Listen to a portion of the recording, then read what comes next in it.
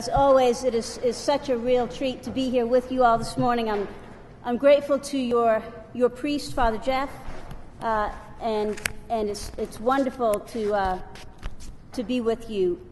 And, and as I think about uh, this, our readings today, which are so very rich, and, and our collect, which we read about uh, keeping our mind on uh, heavenly things, not earthly things, things that pass away. This gospel that is reveals such uh, such an aspect of human nature, uh, where where our Lord is saying, essentially, let me be me. If I want to give, I can give. It's the same thing that God is saying to Jonah, isn't it? Let God be God.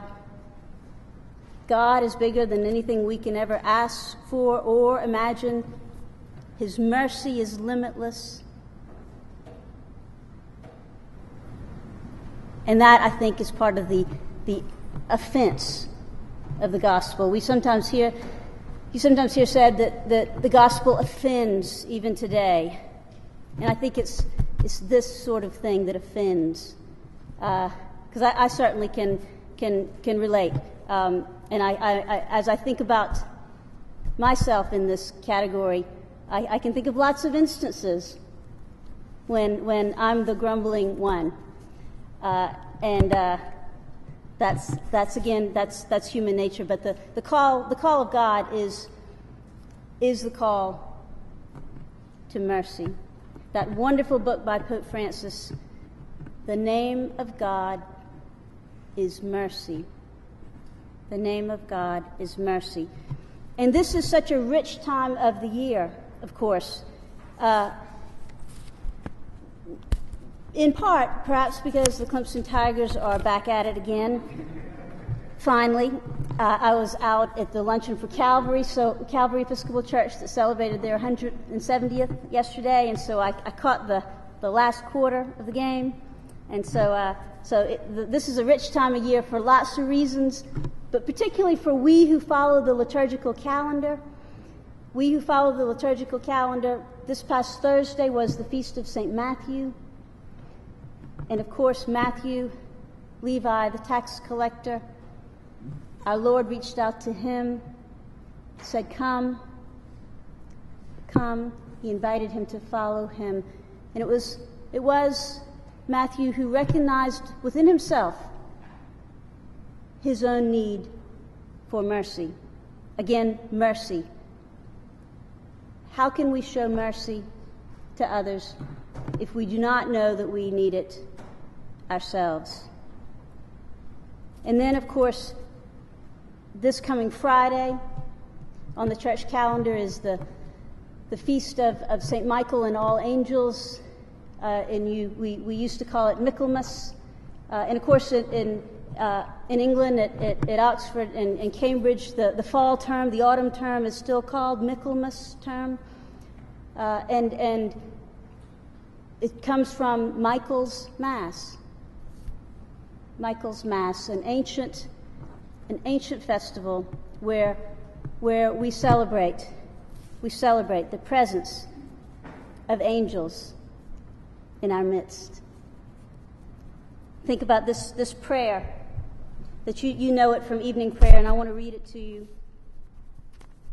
Keep watch, dear Lord, with those who work or watch or weep this night, and give thine angels charge over those who sleep.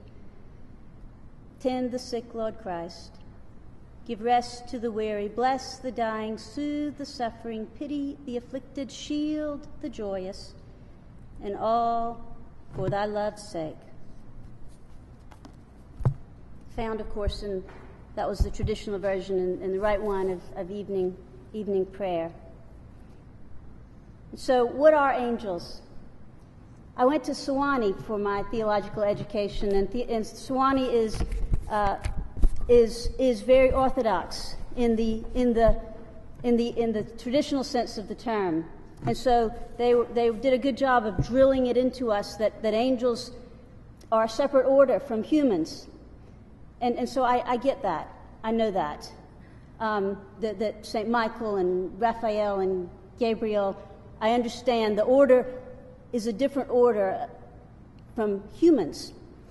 And so that when we die, we don't become angels, we all right, so so the, Sewanee did. They also did a good job of um, instilling in me the, uh, the the rubrics of the of the 1979 prayer book, uh, and so uh, those are those are very important things, um, and I'm and I'm grateful for that.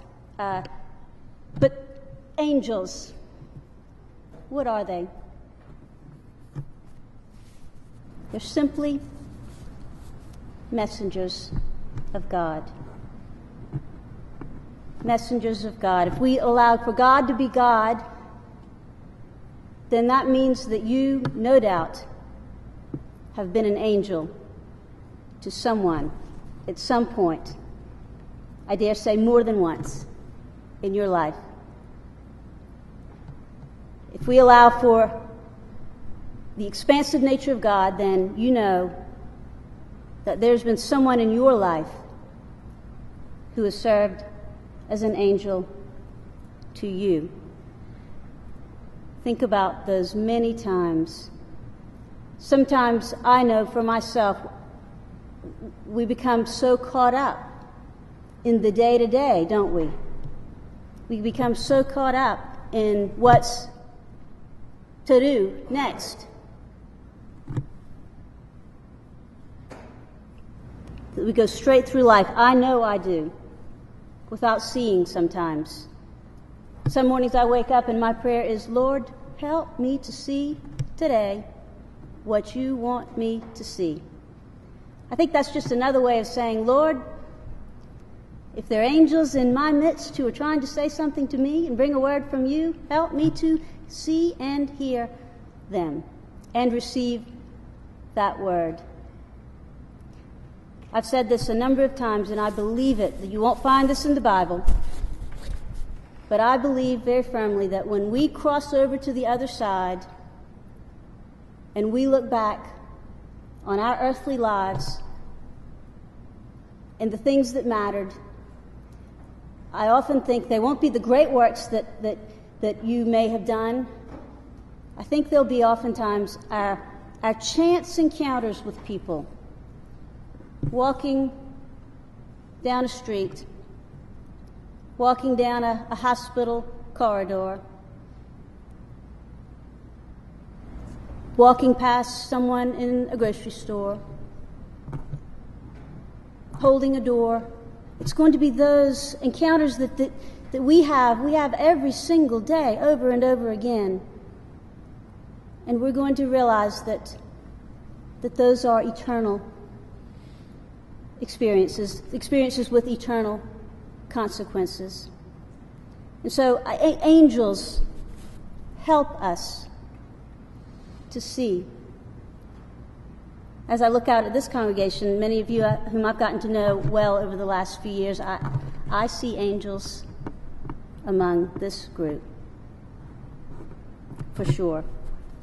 Messengers of God as, as a child growing up, the angel Gabriel felt very familiar to me.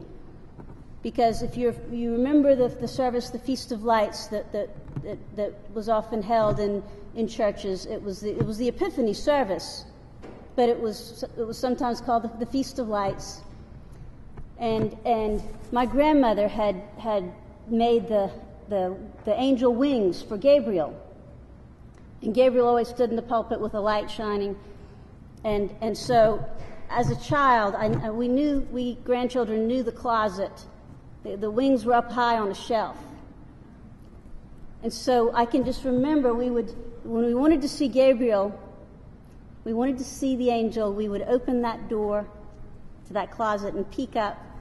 And we knew not to touch anything because we knew everything would come tumbling down. Raphael, of course, is God has healed.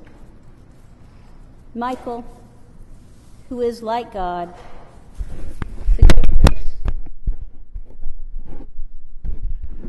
Angels are simply fellow servants of God with humanity. They are messengers.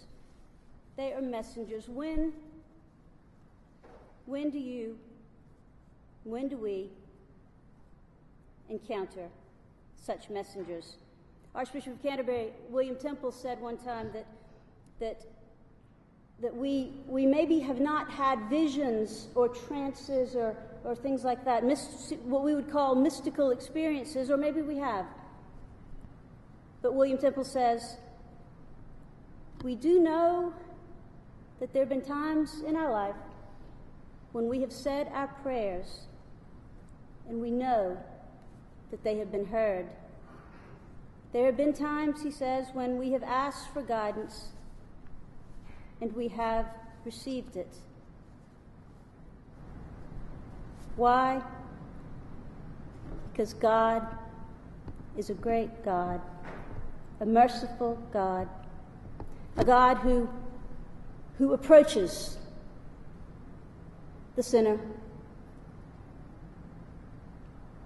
Because our Lord knows that, that those who are sinful and those who know their sin are open to the Spirit, and that would include each one of us. And that just simply means that if we know mercy ourselves, if we have been shown mercy when we did not deserve it, And that's a good question. Perhaps, perhaps you haven't been shown mercy. But God grants you mercy. When we know mercy ourselves, we can then extend it to others. And that's part of, that's part of what this wonderful collect for today is talking all about when it says, Grant us, Lord, not to mind earthly things, but to love things heavenly, and even now, while we are placed among things that are passing away, to cleave to those that shall abide. All of this is the stuff of eternity. Yes, we have our lives to live. Yes, you have your work to do, and I have mine. And we have our work together to do. Thank God for it. At the uh, at the, um, the luncheon for, for Calvary Church uh, yesterday, they, they had, there was a, a, a, video of the, the elders of the church. They have a number of people in that congregation who are in their 80s and 90s, and, and, and they were seeking words of wisdom. How is it that you can be 90 something and still be reading the lessons on Sunday morning serving at the altar. And, and one, of the, one, of the, one of the gentlemen who was interviewed, his answer was, stay. Get, get, can you guess it? Stay busy. Stay busy. So we keep doing the things that we're called to do, all the mundane things. But in the midst of that, as, as Tuma Porter once said the spiritual world and the material world are much closer together than we can ever imagine. So realize that, that you are quite often entertaining angels unawares. That you are too serving as an angel to another. Once, when I was a young adult and I was traveling, must have been in an airport, and this gentleman approached me out of the blue, an older gentleman. And he just handed me a, a slip of paper on a napkin. And on that napkin was written, Jesus said, I am with you always. I'm with you always. And then he was gone.